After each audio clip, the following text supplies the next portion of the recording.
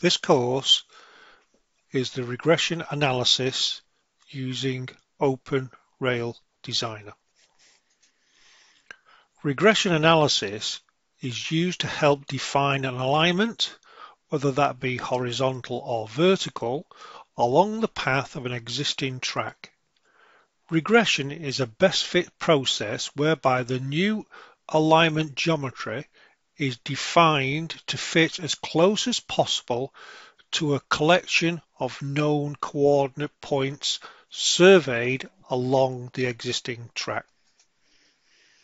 A typical regression workflow consists of importing existing rails, sort the points via a set of values to create the existing rails, convert the existing rails to generate the regression line, create a curvature diagram to create the alignment or use horizontal regression tools for single or quick method, regress the horizontal alignment, report the slews, create profile using profile from Rails to begin the vertical regression, create the vertical alignment and report the lifts and the lowers.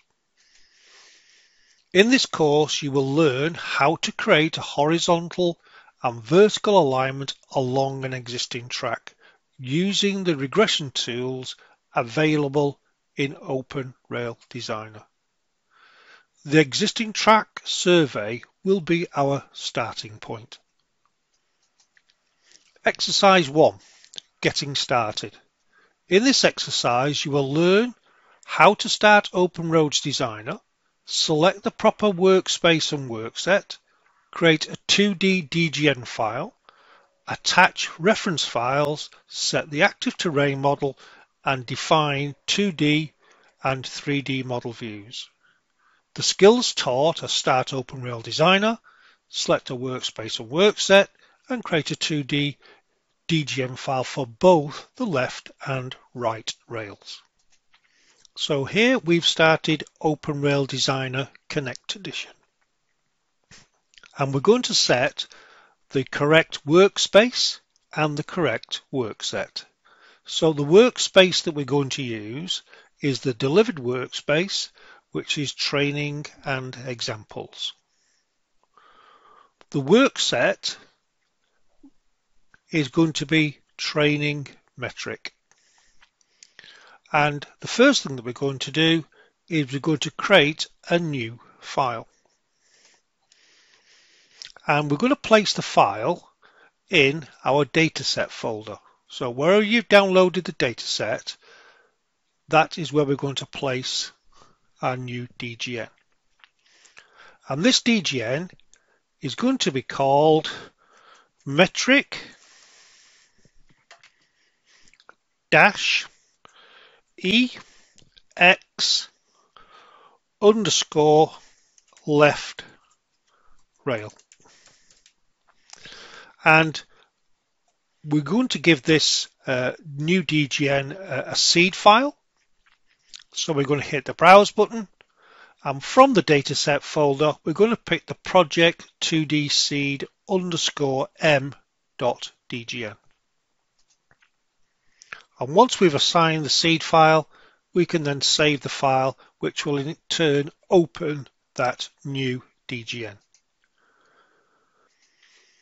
So here now we have uh, the new DGN opened and I just want to check some settings of the DGN.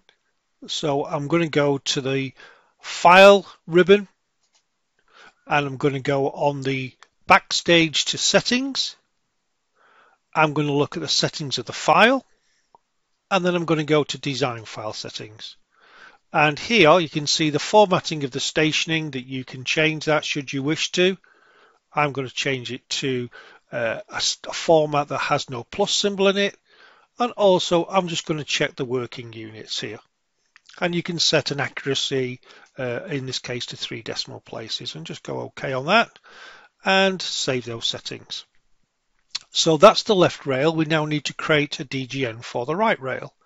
So again, I'm going to go to File, I'm going to go to new, do the same process, type in a file name, metric dash ex underscore right rail.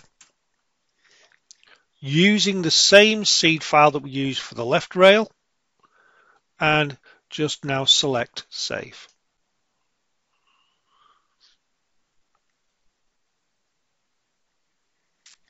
And this process will have now created the two DGNs that we need to begin our design process.